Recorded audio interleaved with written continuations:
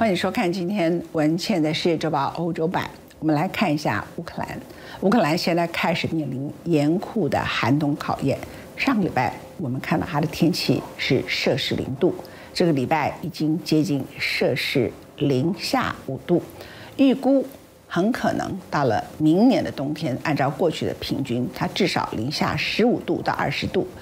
目前呢，俄罗斯所做的就是尽量的抓在十二月的时间进行无人机的全面攻击。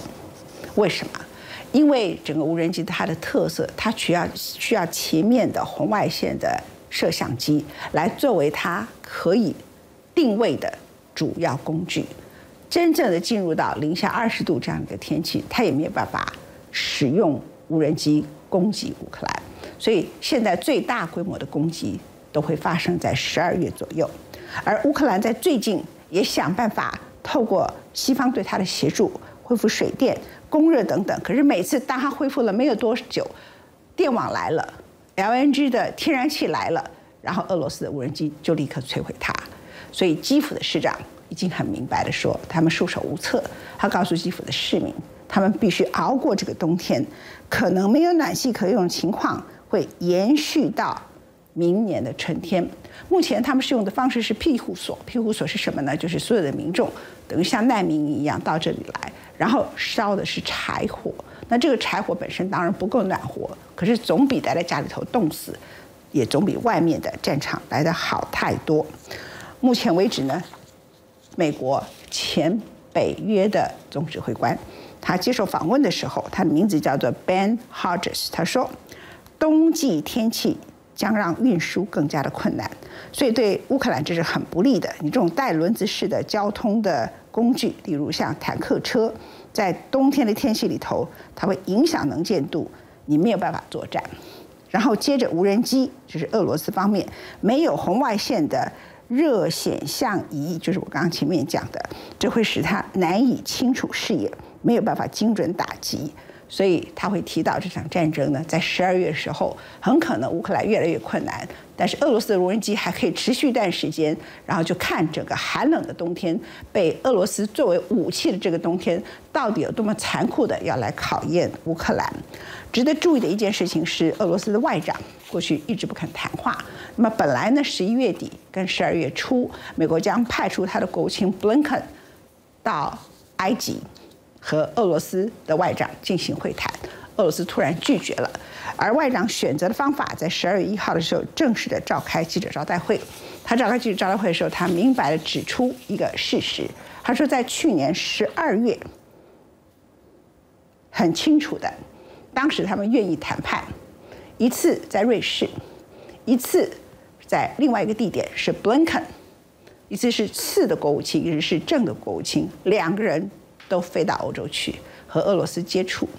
当时他们提出来的要求是想避免战争，只要你乌克兰收回加入北约组织，也就是说，从俄罗斯的外长他的说法，拉夫罗夫的说法，俄罗斯在那个之前，从六月乌克兰申请加入北约，八月梅克尔去警告了泽连斯基。俄罗斯一直进行军事演习，他其实在拖时间，最后到二月二十四号进行对乌克兰的侵略。那段时间里头，俄罗斯是想避战，只要美国逼迫泽连斯基收回加入北约组织，但是他认为美国没有扮演这个角色，他觉得美国在这里头最后煽风点火，他要为这个战争负起责任，所以拒绝跟美国谈判。乌克兰迎接二战以来最残酷的冬季。Ukrainian soldiers trudging through the splashing mire of the trenches. This is how it will be all winter, through rain and sleet and snow, inches of territory lost and gained. The Ukrainians don't just want to push the Russians back, but also to get them to waste manpower and ammunition. Вони мали набагато більшу перевагу тільки за рахунок тих, що у них було більше снарядів. Але в нас хоч було менше снарядів, але ми ну, більш влучно попадали. Зараз я б сказав, що і в них менше снарядів стало. але відповідно і вони також почали краще стріляти. 寒风刺骨下，乌军在充满泥泞的壕沟中对抗更精准的俄军打击。进入冬季，多了寒冷和泥泞这两道天然障碍，打地面战更加费时也费力。俄军愈加重用无人机和飞弹空袭轰炸，同样反映出冬季的乌克兰对俄军地面部队也是一大挑战，坦克移动更加困难，能见度也是一大问题。The winter weather is going to make trafficability uh, more challenging, especially for wheeled vehicles.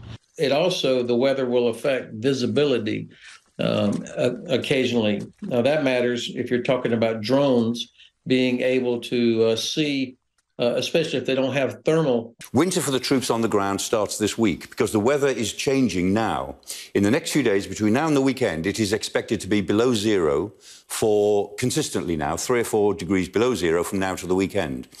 And that will freeze the ground. If there is an anticyclone in Siberia, which doesn't happen every year, but it does happen, then it'll go to 20 below or more.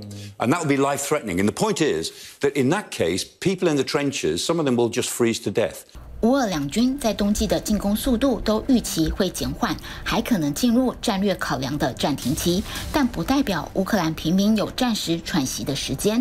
战争进入第十个月，民众虽已习惯随时发生的空袭，但现在更要想方设法适应能源供给不稳的严冬，学会在俄军攻击断电、政府修缮复电又遭攻击断电的反复过程中生活。他们知道这会是攸关生死存活的冬季。By targeting the energy grid and trying to switch off the power, Vladimir Putin is creating a new front line. Russia's missile strikes against the power infrastructure make this already perilous work even more high risk. Emergency power systems are urgently needed, as well as anything that can help people survive the harsh conditions of war and the winter. NATO members say they will stand by Ukraine. 这个冬季将决定下一阶段的战争走向。北约外长十一月二十九号在罗马尼亚首都布加勒斯特举行峰会。二零零八年，北约就在同个地点承诺乌克兰未来总有一天可入约。时至今日，北约旧调重弹，依旧把乌克兰入约放在遥远的未来，强调当前最急迫的问题是如何协助乌克兰安全过冬，承诺提供发电机和保暖衣物等，并协助基辅修复电。Not a new promise from the alliance of Western countries, but at a summit in Romania Tuesday, they backed it up with material goods. NATO said it would send more weapons, and the U.S. pledged more than $50 million to help Ukraine rebuild its infrastructure. And while the members repeated the 14 year old assurance that they would eventually bring Ukraine into the fold, they stopped short of saying when that would happen. 但气温低至零下还不是最难以克服的挑战。战争现在进入火力数量对决，武器越充裕就越有机会胜出。俄军夏季攻击最高峰，一天发射多达两万枚炮弹，近期一天内发射近百枚飞弹。英国军方十一月二十三号发布的情资报告指出，俄军严重短缺巡弋飞弹，从伊朗购买的自毁式攻击无人机也极有可能快要用光，需要加购补充。乌克兰对武器的需求同样有增无减，乌军消耗炮弹的速度和盟友的武器库存减少的速度都是二战以来最快，而且盟友提供的高端武器不是限量供应，就是有维修问题。The problem is that high-tech weapons like this one are wearing out from overuse. Дуже ніжно в обслуговуванні, дуже багато механізмів різних. Ну будемо надіяти, що будуть допомагати запчастинами. As yet, there's no maintenance capacity in Ukraine, so American supplied artillery guns have to go to Poland for repair. 纵使北约不断表态会支援乌克兰到底，但现实是这场烧钱的战争已打到盟友恐后继无力。就连西方媒体都已开始质疑北约还能支撑多久。《纽约时报》报道指，德国、法国和美国都谨慎把关给予乌克兰的武器类型和数量，像是乌克兰想要能打击俄罗斯境内的地对地陆军战术飞弹系统，还有战斗机等先进武器，这些是盟友尚未提供，未来也。不太可能提供的武器。NATO countries have provided some $40 billion in weaponry to Ukraine so far.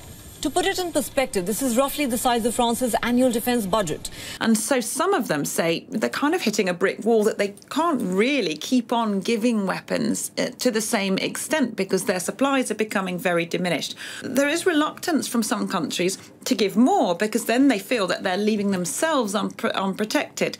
Western officials are increasingly pushing Ukraine to be more efficient. For example, they're discouraging Kiev from firing a missile that costs $150,000 at a drone that costs $20,000 because the West understands that the war has become about the economy now. Companies like BAE Systems and the other defense companies are, um, you know, producing more, but to enable them to produce the sort of quantities we would need to supply Ukraine if this war was to go on for a long time, uh, they need to set up production lines. And to set up new production lines, they need money. And the government, as I understand it, are not 西方大国有限度援乌，又将停战责任推给莫斯科。俄罗斯外长拉夫罗夫在十二月一号的年度记者会上指责华府。二零二一年十二月，原有机会避免这场战争，却选择无视莫斯科停止北约扩张的要求，批评西方大国错过避战的时机，现又提油灭火，助长战争蔓延。Включая Соединенные Штаты, включая Великобританию, включая Францию, то есть три ядерные державы, они же делают все, чтобы наращивать свое практически прямое участие в войне, которую руками украинцев они ведут против России. Это опасная тенденция.